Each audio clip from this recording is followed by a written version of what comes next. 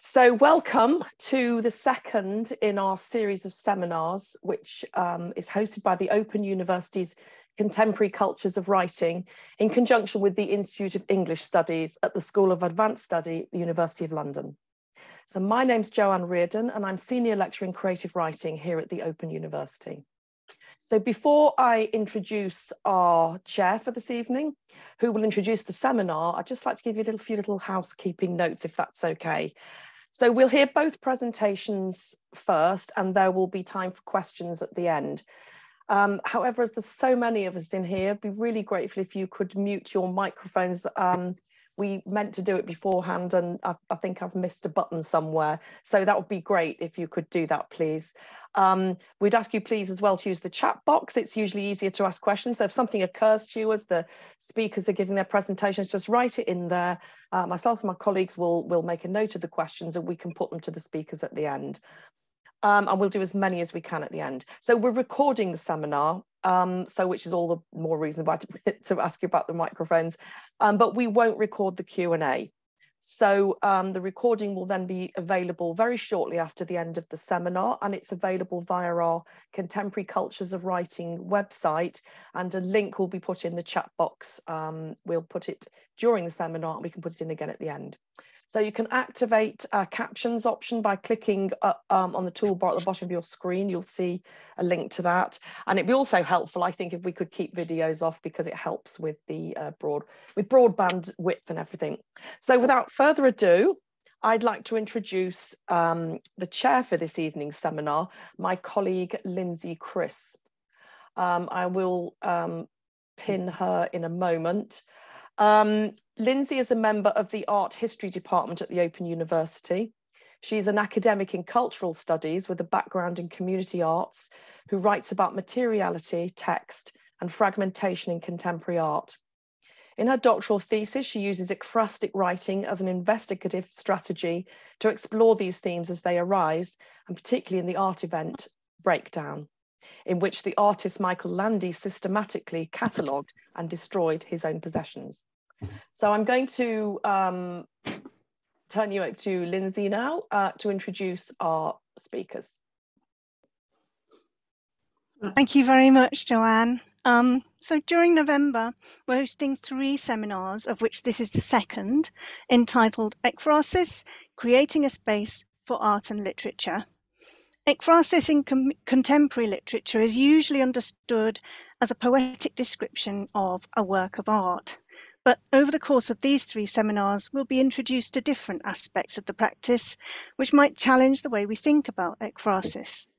Tonight's seminar, featuring artist Richard Kenton Webb and poet Patrick Wright, explores the way an artist might speak to a poet from the past and how contemporary poetry responds to abstract works of art. The three seminars in this series are going to bring together artists and writers to explore how each of them use images and texts from ancient and modern sources to create new works that speak to our time. Hmm. so I can hear a microphone that's still on, by the way. So do just all check before I hand over to Richard that your microphones are off. Thanks so much. So Richard Kenton Webb is an internationally acclaimed award-winning artist and subject lead of painting, drawing and printmaking at Plymouth College of Art. No, Arts University Plymouth. Oh, I'm so sorry. uh, that's what you get for reading from somebody's biog. My apologies, Richard. um, I'm going to I'm going to attempt, I hope, to get the the rest of this right, and I'm going to um, select a couple from a very extensive and impressive list of achievements. Um, so in 2020, he won first prize at the Sunny Art Prize, followed by a solo show, Hope in an Age of Anxiety, in 2021. And this year, He's joined the list of international names invited to the Josef and Anni Albers residency in the USA, where he made, in 72 drawings, his manifesto of painting. This evening, Richard will discuss, as he says, a visual poet's conversation with John Milton's poems. And over to you, Richard. right, I'm going to share my screen. So um, press the button and we share. And right, can you see that? Everybody? We can, Richard. Okay, great. Okay, so um, I want to start with uh, asking the question which is on your uh, flyer, which is why am I in search of John Milton? Or I might ask the question, why is John Milton in search of me? Um, his poet, his his his poems. Um, I went to a John Martin exhibition in 2011, and um, I took my young son there, uh, Ez, and um, I was showing him some John Martin uh, mezzotints. And as we were looking at them, I said, um, he said, "Have you read um, Paradise Lost?" And I went, "No, no, I'm saving it." So he looked at me and went, "I think it's about time you read it, Dad." So I did, um, and uh, so let me just um, really, so why am I here? To discuss Paradise Regained and Samson Agonistes. That's really what I want to show you tonight, but um, I need to talk to you about how I got there. Um, these two poems, his last two great poems, um, were published together and spoken into existence, um, not written down by him, of course, because he's blind, in 1671 in his what is known now as Milton's Cottage in Chalfont St Giles. Um, so really, to put it into context, how have I come to be in search of John Milton? Well, for 10 years, I conversed with um, this great man in the 12 uh, books of uh, Paradise Lost. So in 10 years, I made uh, 179 artworks, um, 12 lino cuts, 40 paintings, and 127 drawings. Just to give you an idea, the drawings, uh, over 100 of them, are this size, so they're over two foot by seven foot. And it was um, a labor of love. Um, and they, so here's some just some drawings inside the studio when they're being made. So they're very much made in threes. Um, and as I said, you know, there's a considerable amount of them. 10 years of thinking. Um, and as I was coming near to the end, um, so that's there, and then I just want to show you. Um, so as I was coming to the end of them, uh, COVID hit, um, and uh, I applied for the job that I am in now, which is at Arts University Plymouth, which is running the painting department here, BA and MA. And I still had two books to, uh, two more books to make. Um, I moved down here, lived in, in, in, a, in a wooden hut by the sea in Wembury. And the problem for me as I was um, uh, hitting COVID and we were, um, I was driving to work and um, had this, this is the exhibition that's in 2021.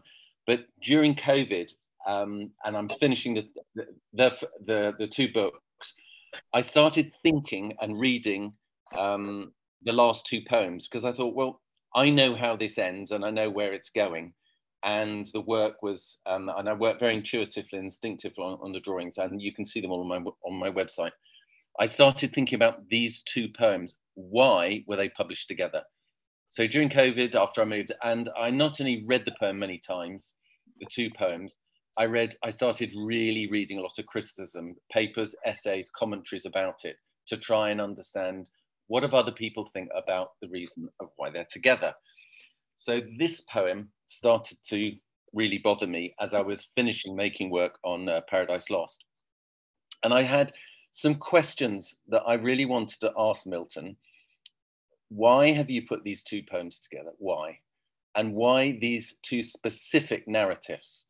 Um, so from this epic, massive pictorial idea that is the, this genius of a poem of Paradise Lost, these two small, intimate dialogues and narrative. And what I found was two poems, concepts that were to be read in tandem.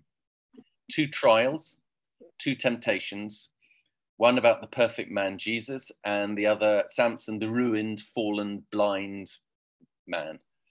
And so after this great epic poem, Paradise Lost, this is what he chose to write. This was his argument for hope in a hopeless age that he was living in, in Restoration uh, Britain, England.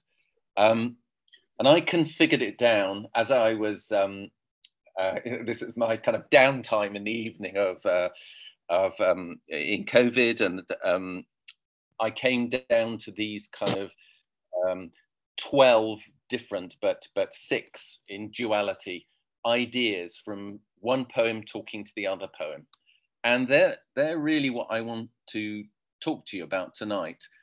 Um, but meanwhile, I had the other other work to finish. I had a commission from the Milton Society of America for Lycidas to make um, uh, 12 drawings, and I had um, books 11 and 12 of Paradise Lost, plus also what bothered me about 10 years of making that I'd never dealt with the passion of Christ, which has really was so evident in making Paradise Lost. So I, I went to make those drawings. All those are on, on my website, um, which is live, and you can see all that.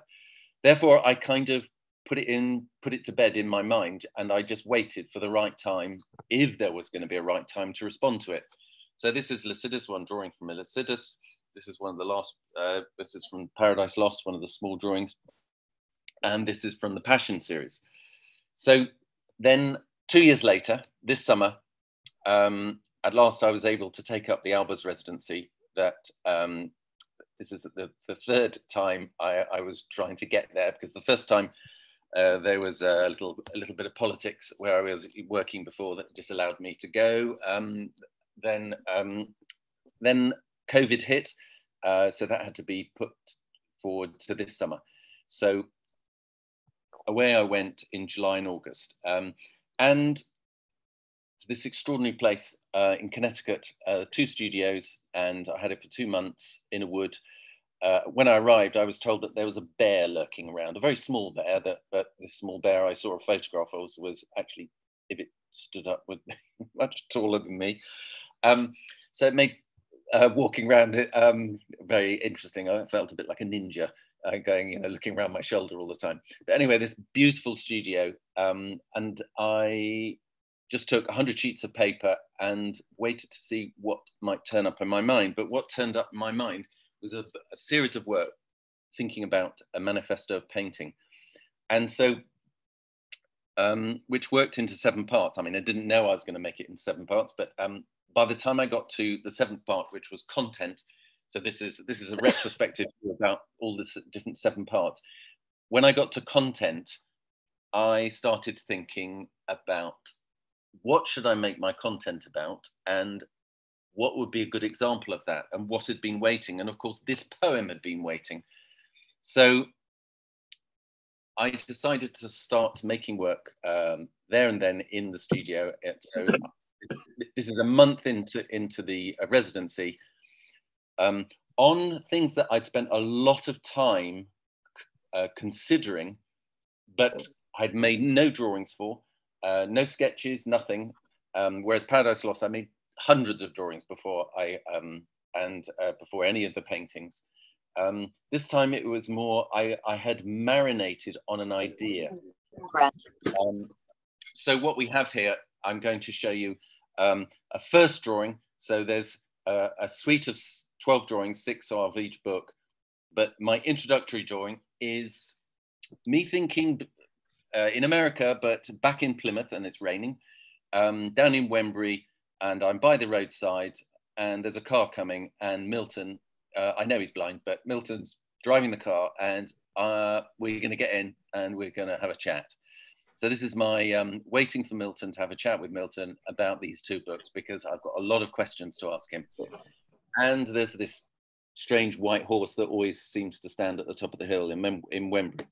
Um, it's an imaginary thing. Anyway, so what I decided was to give a day for each of the two drawings. So they were drawn in pairs, both together in one day, and they took approximately between 14 and 16 hours for the two drawings. And this just showing you the way the suite works. So on the left-hand side is um, the first book, and then second book is Samson. And that's and I'm going to go through them individually. So that's how I saw them as a suite of, um, of, of, of, drawings.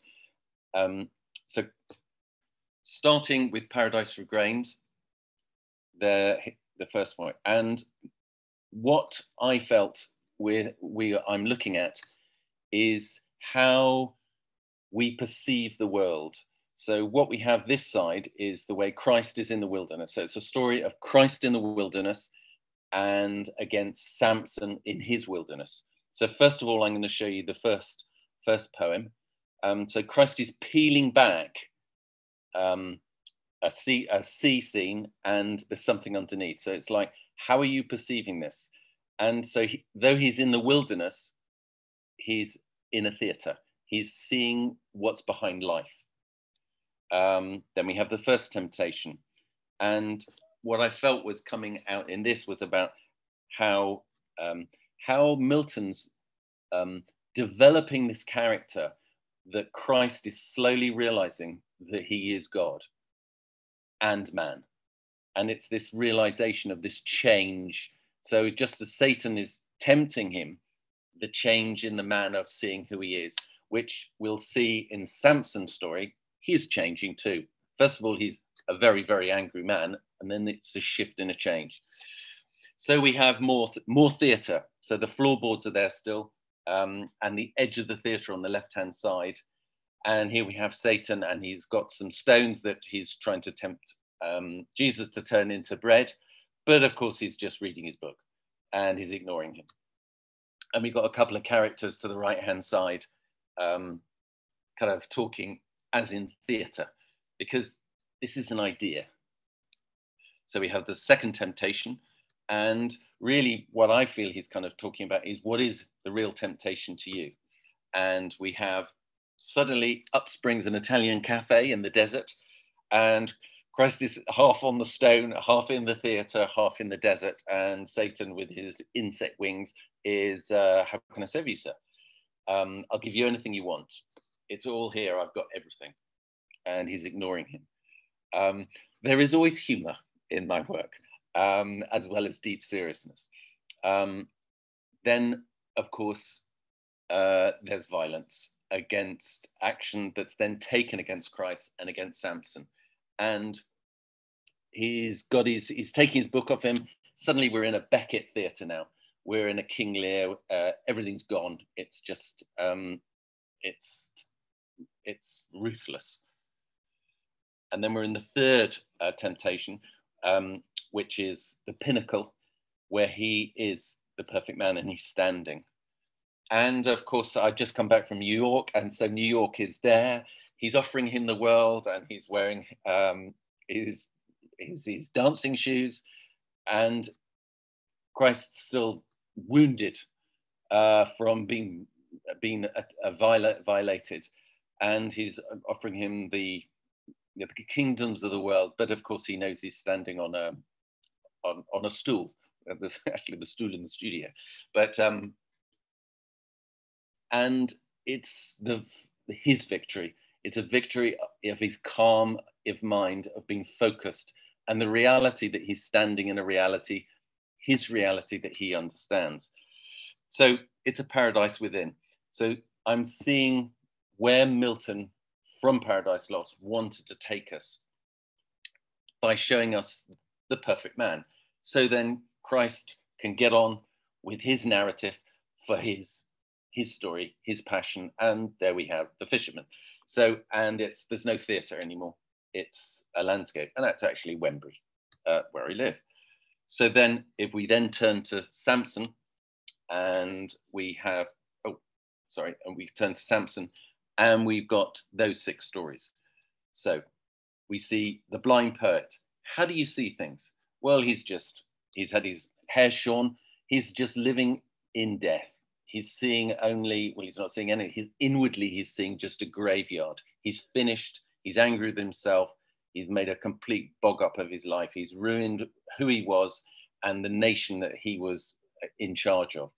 So these, these um, uh, tombs. He's living in these tombs, um, and the tombs of like of, of, of nations. And so he's in the prison of his mind. So the doors are open, and of course his hair's uh, growing, and he's naked, and he's just still completely at anger with himself. But he makes starts making choices. So this is echoing what's happening in the Christ um, um, uh, narrative, and he's rejecting the um, the movements of Delilah um, once again. To uh, he's saying, "I've got to change. I've got to be different." Remember, he's blind and he's seeing beyond. He's starting actually in his blindness to be sighted. So everything's getting bigger and bigger and bigger because this is this is his weakness.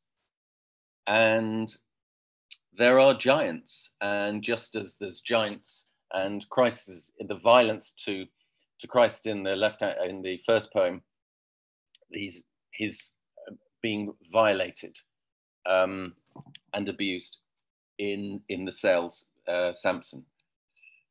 But what we see is the calm of mind. He's made a decision to be to be to to be changed in the poem, and um, in his prison, he is at one with himself about how he can change.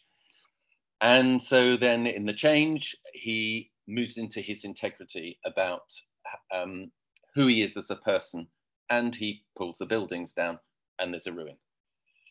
So when we look um, how they were made as a conversation, the two modes, so we see Christ pulling back, and of course, Samson not seeing things, seeing only anger and feeling what he wants to feel. He's just um, he's overtaken with his own uh, anger.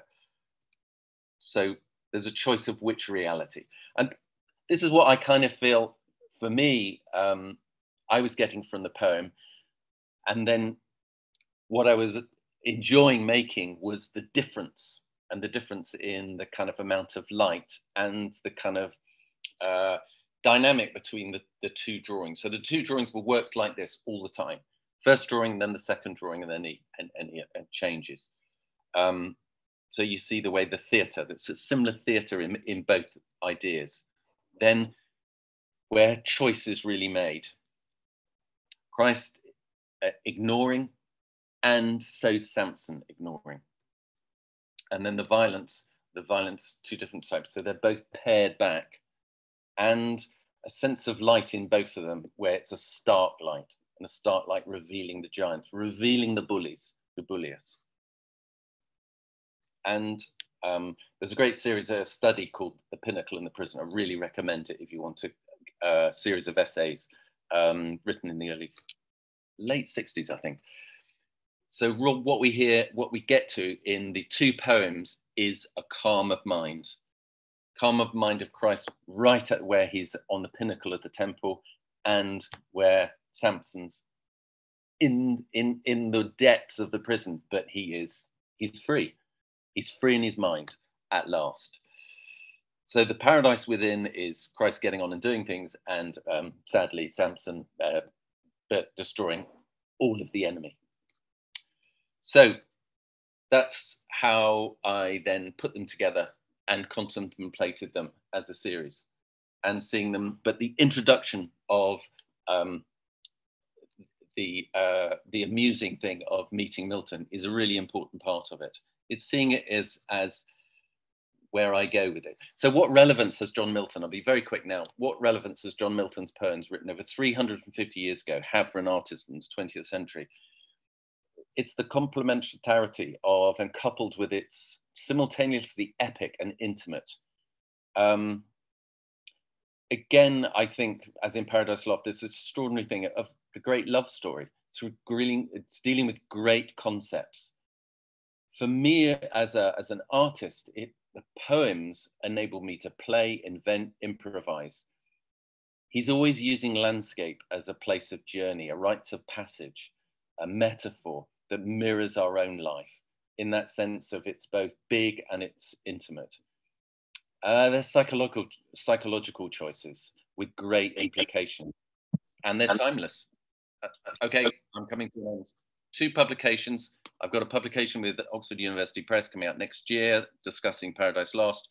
Got a show coming up next year in London at Benjamin Rhodes Arts. Do come along to it. And in 2024, um, these will be showing in the very place that these were spoken out. End. And I need to stop sharing. Thank you so much. Thank you so much, Richard, for that fascinating paper.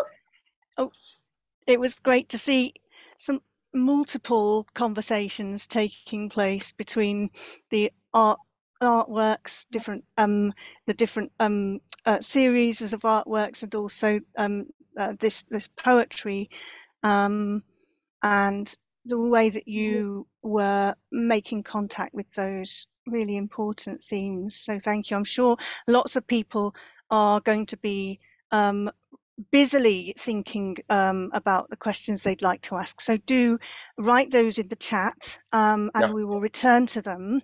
Um, but I'm now going to turn to um, our second paper of the evening, which is presented by Patrick Wright. Um, Patrick um, is uh, um, I beg your pardon, sorry. um, Patrick's debut um, poetry collection, Full Sight of Her, was published in 2020 and he's been shortlisted for the Bridport Prize. He teaches English literature and creative writing at the Open University, where he's also finishing a doctorate in creative writing, in which he explores writing poetry in response to modern art. His um, thesis is entitled Exit Strategy ekphrasis through the lens of the abstract and the formless. I'll hand over to you, Patrick.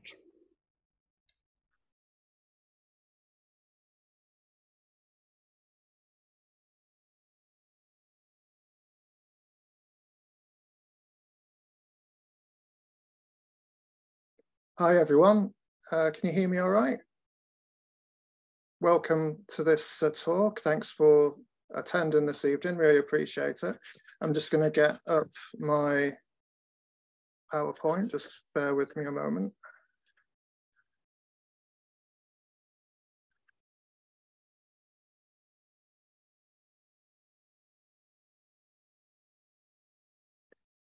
So as you'll see, the title this evening is Exploded Form, the Ekphrasis of Cornelia Parker's Cold Dark Matter. And this paper emerges from my PhD thesis in creative writing at the Open University, supervised by Siobhan Campbell and Jane Yeh. Um, as has just been suggested there, I'm currently between the submission of the thesis and the Viva. Um, and this is the title, Exit Strategy, Ekphrasis through the lens of the abstract and the formless.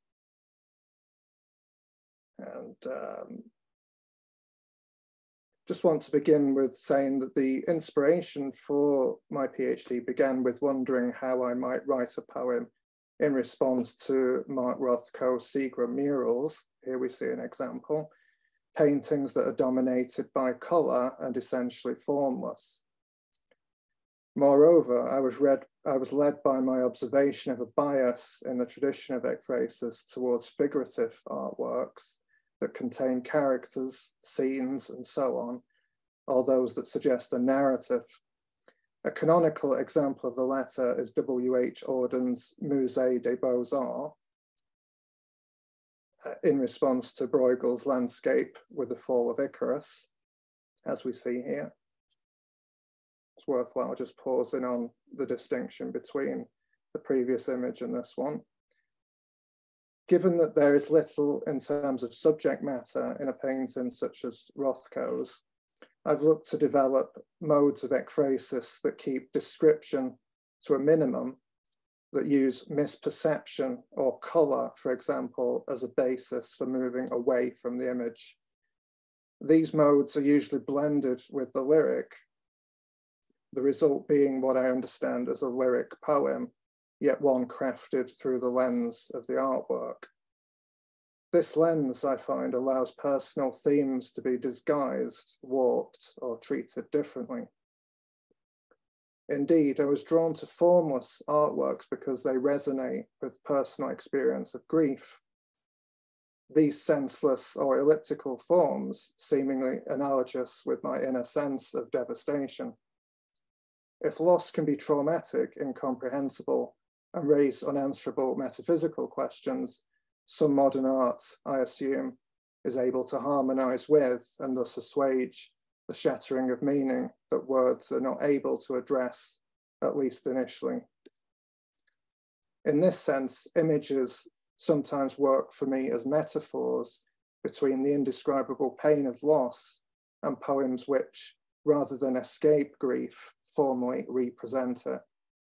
Just as grief is recursive, circular, and often impenetrable, I've found kinship in streaks of light and colour or in fragments and shards, as we see here with the example of the Cornelia Parker.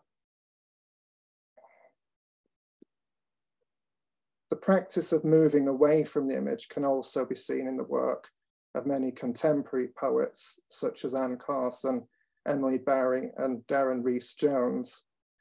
Setting aside for now their reasons for doing so, my need to escape to pursue what I call an exit strategy is often due to how the image is too immersive or overwhelming. Within this context, I saw Cornelia Parker's Cold Dark Matter, an exploded view, to give it its full title, as a representation of my grief. More specifically, this, this installation provided a metaphor at an intuitive level of the traumatic experience of taking apart my partner's home in the days after her funeral and redistributing her belongings. On the installation itself, I paraphrase a description from the Tate Gallery website.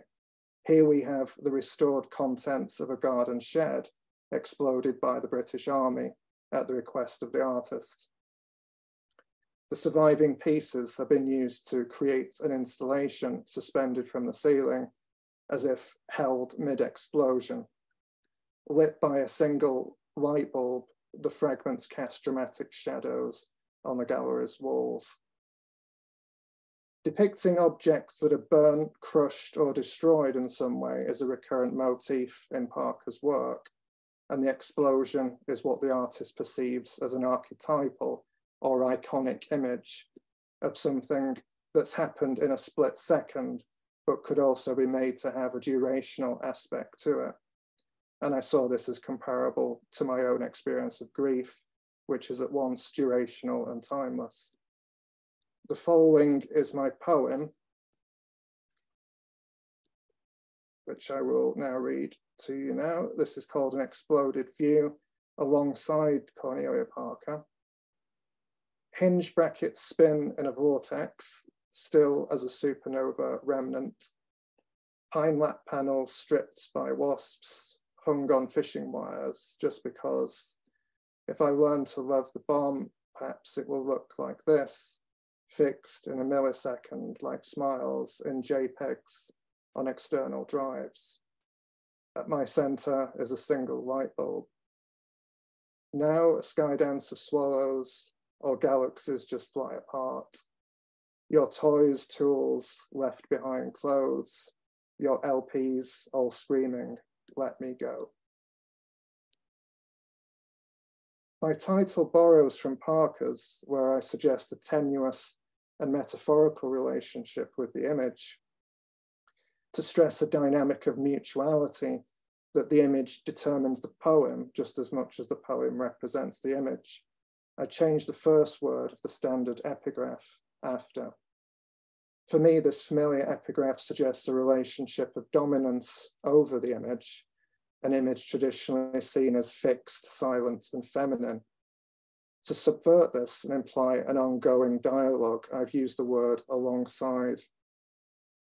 There's some element of description, e.g., hinge brackets, though I shift away from reference to the shed and go on to explore associated imagery, e.g., a supernova remnant or later a sky dance of swallows. The voice also shifts from a more conventional lyric I to a more ambiguous speaker, which might be the artwork, ventriloquized or made to speak, or the lost other speaking, e.g. at my center is a single light bulb. There's the light bulb in the installation, but this is also a metaphor perhaps of the soul or love or the continuing, continuing trace of a person after death. Particularly through rereading Anne Carson's poems, I explored how my handling of punctuation and grammar could be mimetic of the artwork. It occurred to me that because modern art often includes incongruity and fragments, my equivalent could be dependent clauses, parataxis, and word collage. I associate punctuation with lines and edges in visual art, and it follows that, that if there are no lines in the image or broken or disrupted lines, I might avoid punctuation as a procedural strategy. Seeing phrases like fractured bits of shed allowed me to embrace a compositional process where I was more attentive to sound, rhythm, and the graphical aspects of the poem on the page. In an exploded view, I fused some procedures, marginal configuration, space between phrases, non sequiturs, and so on. Initial drafts were driven by overlapping the lexicons of art history and astrophysics, the title Cold Dark Matter, evoking something of this subject, and two poems were amalgamated into a new one. This approach was also inspired by, by Ezra Pound somewhat, and T.S. Eliot's multi-referential collage poetry, celebrating fragments and intertextuality. In my poem, though, I amplify what these poets do by having procedures aligned with my aim to represent the artist's decimated installation. Constraints were, I found, generative, such as how I prohibited my use of commas from the very beginning, the absence of which I saw as visually reminiscent of the gaps between the parts of the shed. This poem is also emblematic of how I've explored the use of reproductions and remediation for example, I've sometimes responded to artworks viewed in art history books on postcards or as JPEG files through computer screens or smartphones. Though I was already working with reproductions prior to the pandemic, I began to place greater emphasis on this methodology around spring 2020 and in the wake of lockdowns. Denied access to galleries and museums, I utilised my phone and tablet screen, the black mirror of contemporary Western culture. I did so to view specific artworks, but I also looked at online exhibitions, virtual gallery tours, and spent more time with prints from books and exhibition catalogues. This placed an extra burden on my active imagination and reaffirmed my themes of loss and separation.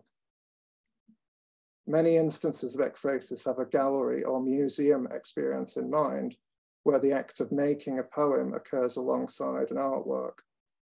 Barbara Fischer observes this kind of juxtaposition in museum mediations. She values American poetry that locates itself self-consciously in the museum, taking in the viewing experience and everything around the artwork, and poets who study the effects of their site specificity on their interactions. In this context, it's worth noting that a recent workshop run by Tamar Yoseloff was on responses to Parker, the Parker retrospective at Tate Britain. For this in-person event, Yoseloff outlined, I quote, themes of process and transformation, suspension of time, and reshaping of space, end quote. Though I have at times continued this tradition, and I acknowledge the loss of sensory input, e.g. the chatter of other gallery visitors. My use of reproductions does not, as I see it, result in reduced experience or an inferior poem. Instead, I see reproductions as stimulating in other ways.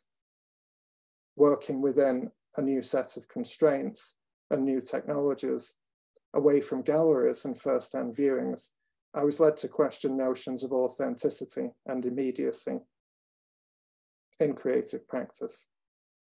David Kinloch refers to how poets can often envy the perceived immediacy or access to the real that is inherent in the visual arts. Frank O'Hara's poem, Why I Am Not a Painter, comes to mind, where this idea of immediacy is initially entertained, only to be later contested. My attitude to this and how ekphrasis is already one step removed from the artwork has been to embrace the irreconcilability of word and image, that the relationship between the visual and the verbal is, as Foucault saw it, infinite. I also celebrate how a poem, like a painting, can depart from its prompt. Using reproductions is supported by Andrew Miller's observation that, I quote, such modern ekphrases as William Carlos Williams's Pictures of Bruegel and Auden's Musée des Beaux-Arts were written by way of photographic reproductions, end quote. He questions the cult of authenticity in Western art and proposes the idea that the most famous modern ekphrases are panegyrics of what Walter Benjamin understood as the aura of traditional art. Moving away from authenticity or fidelity to an artwork, ekphrasis, or what's often thought of as a response or remediation, is a practice that can be multimodal, nuanced, and involve only a tenuous link between word and image. The connective tissue can be fragile. Thinking along these lines, I was also drawn to Andre Malraux's idea of the imaginary museum and Benjamin's essay, The Work of Art in the Age of Mechanical Reproduction, how art is now more accessible to the public through the internet, for example. Recognizing this and the problem of rediscovering a substitute aura through digital technology became one concern. This is represented in my poem where Parker's installation was even more emphatically fixed, as I write in a millisecond, by the images I worked with on my screen. This mediation also reminded me of photographs of my lost partner. Cold dark matter is compared as a result to smiles and JPEGs on external drives, where the real or what seems to be authentic or have auratic value is at my center a single light bulb. Mats Jensen on the overlap of ekphrasis and digital media writes that, I quote, digital technologies entail new possibilities and challenges for the production and reception of ekphrasis. The ekphrastic poet is given the opportunity not only to write a poem describing a work of art, but to create a multimedial artwork involving several senses, end quote. I found this observation inspiring, and I had the idea to visually evoke Parker's installation with a new use of form. Without seeing Parker's artwork firsthand, I began by recalling the reproductions I had thus far made a study of, such as slides in a lecture theatre many years ago as an art history student. My visualization of her shed, frozen in time, led to an image in my mind's eye of how the poem might look. My, my words were then analogously exploded around the page. As part of my research, I consulted Google Images, which provided a series of viewpoints of cold dark matter under different lighting.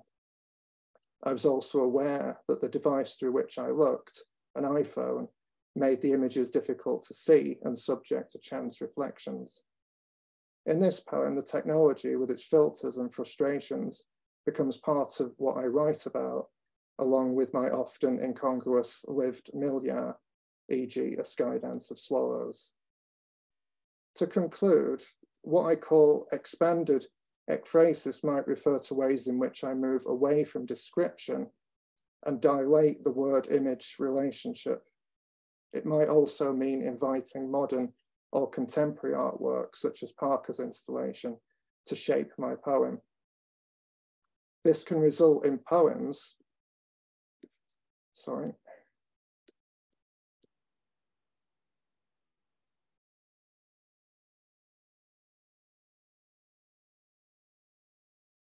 This can result in poems which re represent the visual features of the image, e.g. my exploded forms, or where decisions on layout and typography take on meaning. Visual form, in other words, can help me decide in advance or during the process the rules of the poem, e.g. not using punctuation, and it can determine the poetic form, such as bands of colour that correspond with stanzas or a tabulated arrangement on the page. I understand the poems in my collection where an exploded view is just one example, as lyric poems generated through the prism of art. I believe this has given rise to a personally inflected writing about grief particularly, where rather than directly expressing my innermost thoughts and feelings, my poem represents something unspeakable. This leads me to consider that my ekphrasis is a disguised mode, mode of confessionalism. Furthermore, my collection's title, Exit Strategy, in addition to referring to a grief process and its end, implies that my approach might be better understood as finding a way out of the artwork rather than finding a way in. My experiments in pushing the envelope of ekphrastic practice, especially my efforts to distend or obfuscate the relationship between artwork and the poem, has to some extent challenged the usefulness of ekphrasis as a viable term. While this is not problematic in my practice, often it has been liberating. The new modes I am working with stretch the definition of ekphrasis even further, perhaps to a point where it becomes redundant. Thanks for listening. Um, I'm happy to answer any questions and I would appreciate um, if anyone interested in further discussion would get in touch. Thanks very much.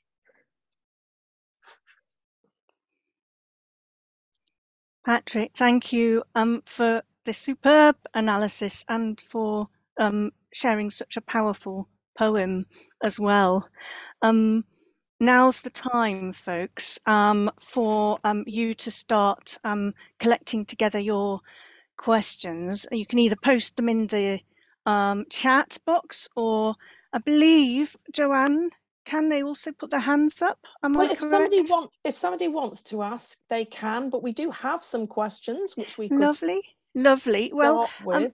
okay. Well, I, I, I just had one thing I wanted to um, raise, if that's okay. And um, before that, um, which was Mm. just that whilst I was listening to these two papers, that I was really struck by the different temporalities that came into play um, through both of your papers and the ways uh, that, that the papers maybe then speak to one another, the life phases, places you've been either emotionally or physically or virtually, digitally, Richard's conversation with poetry made in the 17th century and the sort of timeless quality of the allegorical imagery you use in your drawings. Um, and this sort of concept of immediacy, which always seems to be hovering when we discuss ekphrasis. Um, I just wondered if both of you could perhaps comment briefly about, you know, the relevance of temporality in your ekphrastic practice, how time works for you. Um, who who who can come in on that? Patrick. Well, it, I would emphasize that it is a process. It, in my practice, at least, I certainly haven't. There's been there's been very rare occasions where I've sat in a gallery and responded descriptively to the artwork, and even even when I tried to do that in a in a particular moment in time, the results weren't something that I was too satisfied with. It, it lacked something. Um, maybe it needed to go through a process um, and for some durational aspect to play out. So in, in my practice, usually uh, there's been some kind of immediacy that's been involved, maybe a visit or I've looked at a reproduction. Usually though, I will work back into it and I will revisit over, over the process of time that image again and again, and it will inform the revision and that's that's it works in, di in, different ways with different poems, but it's nearly always involved that kind of temporality. Thanks so much, Patrick. And and Richard, how about you? Um, my temporality is really through the materials. Um, so I'm I'm I've spent a lot of time pondering and, um, if you like, conversing with a with a with a well, I think of voice actually more. Um, I think of Milton because I do really think of him as as blind speaking. Um, so I'm listening to uh, a voice um, which I feel is timeless, and I'm kind of thinking why and what, and um, but his voice is so pictorial. So when I'm listening, I'm seeing it. I'm seeing something, and then I'm seeing questions and so therefore that's why i don't feel i'm illustrating. I'm i'm trying to i'm i'm more having a a, a conversation. Um, but then i'm having a conversation with materials. Um, and because my language languages i'm using the visual languages are beyond words. Um, I'm then the materials themselves are restricting or they're opening up or they're challenging. And then there's the sense of play that one is putting something down and seeing something different and thinking, oh, what, what's that? Or, or looking at something backwards um, and saying, well, I didn't, I didn't anticipate that. Or, um, I mean, a lot of the drawings that I did for these two poems were also affected by the drawings that came before. So I just made some drawings about very a platonic idea about not knowing, thinking about the fogs beside the sea. And that was a perfect device for the fog that I feel that the, of the wilderness, of uh, that, that that Jesus was seemingly in a wilderness of the desert, but not and and that sense of how we perceive the world. Um, by limiting the materials, I they challenge me to see things differently. And then I reach back into the poem. I think, oh God, that's just like that. That's what he's saying. Um, so the temporality is the, being in the moment, being in the moment of kind of. Um, it's like jumping in a swim, swimming pool when you start making a, a drawing or a painting you're in the materials and the materials are going no you don't. Or they go oh.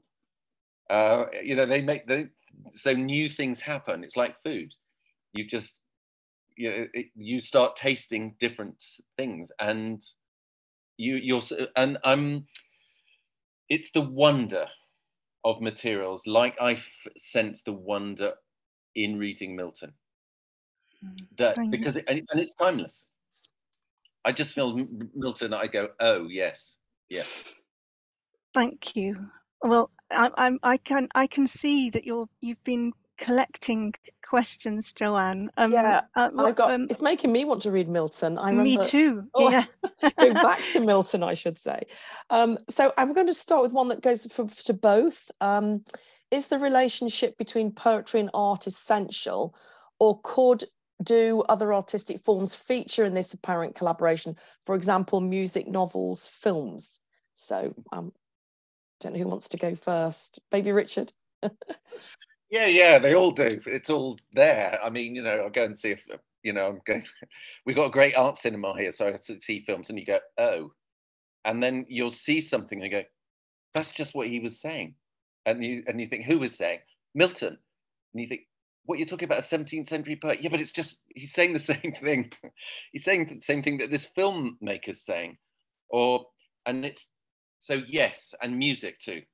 Um yeah i mean it's all feeds it's all food isn't it of, of how we live in the world and have our being in the world. Um so yeah i'm affected by. But the poets poets musicians and painters they're talking about something else. They're just freer. Revolutionaries. There's been such a long tradition, hasn't there, of correspondences between between literature and visual arts, and I, I see that no end to that. I think that it will continue to be relevant in contemporary poetic practice. Um, and you know, I think that you know uh, writers will always be inspired. I think by the still image and look to look at ways of animating that and and project their imaginations into the still image. I think that today, because we live in such a high-paced visual culture, that there's something really radical about sitting down in a gallery and, and devoting some time to a still image and, and exploring that with, with an active imagination. In terms of the future, I think that uh, it's something I've written about a little in the PhD, that it would be good and appropriate, I think, given the array of different kinds of media now that we enjoy, um, such as TV series or, or music, um, that we uh, explore that too. And, and that's one way in which ekphrasis can develop now moving forward. It doesn't have to be that still image. I think it, it, can still exert a force and we should continue to explore different modes of interaction with it. But I think it would be great to broaden that out now and look at other kinds of correspondences between different media. Thanks. I can see we're coming up to time, so I've got one for Patrick and one for Richard is probably a good way to do it. Um, so I'm just going to read it out. Patrick, it's quite it's quite long, so uh, uh, it's actually a question I had, so I'm quite I, I want to ask this one. Um, it's thank you first of all. It's fascinating to hear about the effects COVID has had on viewing art. Is there a worry about there being an additional, almost insidiously tacit veil of perspective when someone has a camera or phone between you and your experience of the art or installation? You're not able to see it with your own eyes, but necessarily from an angle that someone else has decided upon. Yeah, well, it's timely because just a few days ago I visited the Cezanne exhibition at Tate Modern, and it was that was very much the experience that I had. The the room was absolutely crammed full of tourists with cameras, and I have to admit I was one of them. yeah, so I, I, took the opportunity too. Um, I mean, I, I, did mourn and, and, lament a little that it, it, wasn't an empty room because I think it would have been a, a, different kind of experience. And it's one that I yearn for actually when I go to a gallery. I actually want to be alone with the image if possible. So it's a different kind of experience. But as I suggest in what I've just written, I, I don't think it's any less um, inspirational or it's not that there's not a lack of material there to work with. I just think it becomes a different kind of poem then. It becomes a, a, the incorporation of, of a different set of dynamics that you experience in that room. So it's still exciting for me and I've made use of it. Um, and I'm sad about it at times. Um, but, but, what I, what I do have to take away with me is that still image because I, I, did take some photographs and it, it did lead me to reflect upon um, you know, which is the, the, the best way of working, at least for myself. You know, is it actually in the gallery, or is it better for me to go home and work with my own photographs, or even a reproduction in a book? Um, so the, I'm still thinking about that right now. Um, I see value in both kinds of experiences.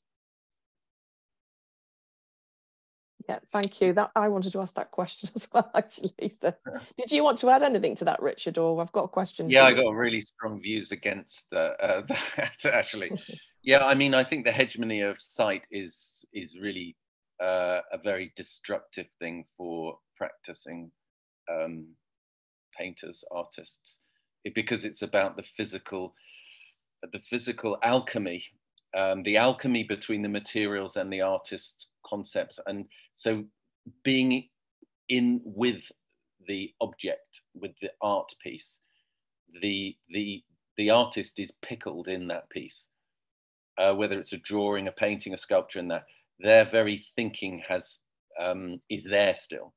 And so when you're in front of that object and you're encountering it, you you you know whether it's Rembrandt, however many years, or you're you're encountering the thing itself rather than a flat digital you know the one's senses uh, um, and one's being is um, is as awakened fully rather than just sight orientated um, i'm very concerned about um, yeah the hegemony of sight Lin- Lindsay, do we have time for one question? I think we've got two minutes, haven't we? I think um, we could just fit in another little one, okay. Joanne. quite interesting. Um, it's for you, Richard. Your hearing of Milton seems to be quite modern, contemporary. Many new writers might imitate Milton's idiom, but your medium seems to escape that tendency. You bring it into today. Is that true? Um, well, I live in today.